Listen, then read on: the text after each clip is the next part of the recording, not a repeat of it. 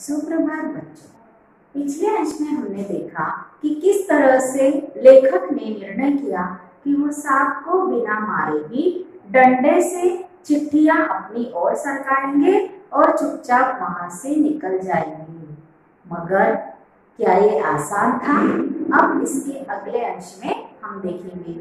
डंडे को लेकर जो ही मैंने सांप की दाई और पड़ी चिट्ठी को, चिट्ठी की ओर उसे बढ़ाया और सांप का फन पीछे की ओर हुआ।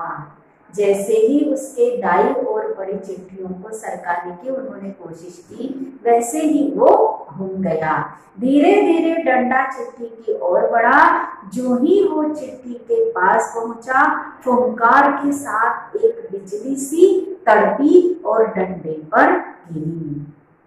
हृदय में कंप हुआ और हाथों ने आज्ञा न मानी। डंडा छूट पड़ा और वो जैसे ही सांप ने डंडे पर फुंकार मारी, वैसे ही डर के मारे लेखक के हाथ से डंडा छूट गया।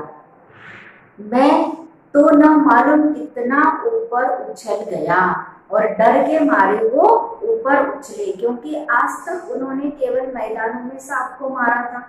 मगर आज एक बंद कुएँ के अंदर सांप को, सांप के पास से चिट्ठियों को सरकाना कितना मुश्किल लग रहा था।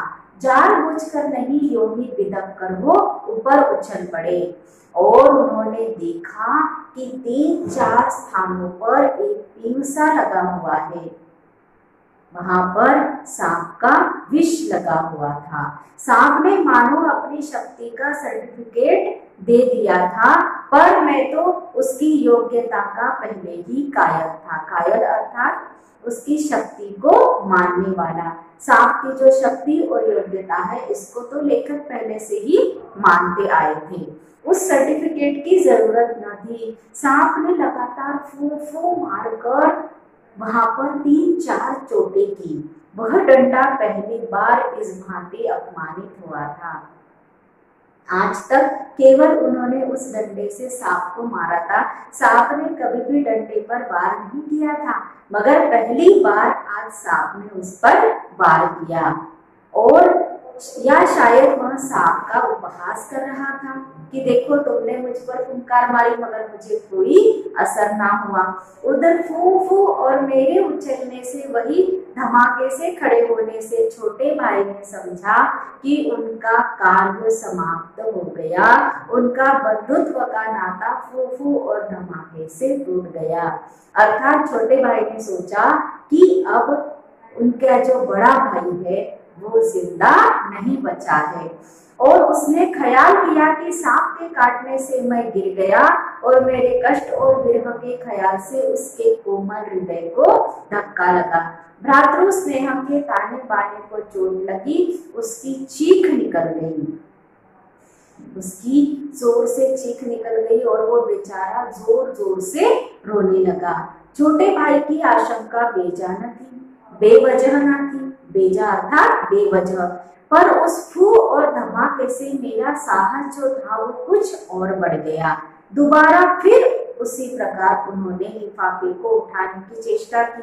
अब की बार सांप ने वार भी किया और डंडे से चिपट भी गया। दोबारा जब उन्होंने फिर कोशिश की, फिर प्रयास किया तो सांप अब की बार केवल उसने वार नहीं किया, बल्कि डंडे से वो चिपट भी गया।